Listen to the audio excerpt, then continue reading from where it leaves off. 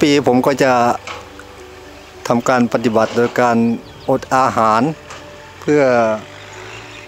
เพื่อดูกิเลสตัวเอง ก็เห็นกิเลสเห็นพยายามพยายามที่จะดูดูอาการดูอารมณ์ตัวเอง มีสุขมีทุกข์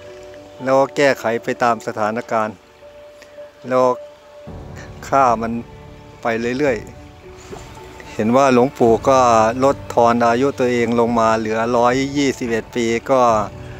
ผมก็จะพยายามตามไปให้ได้ครับ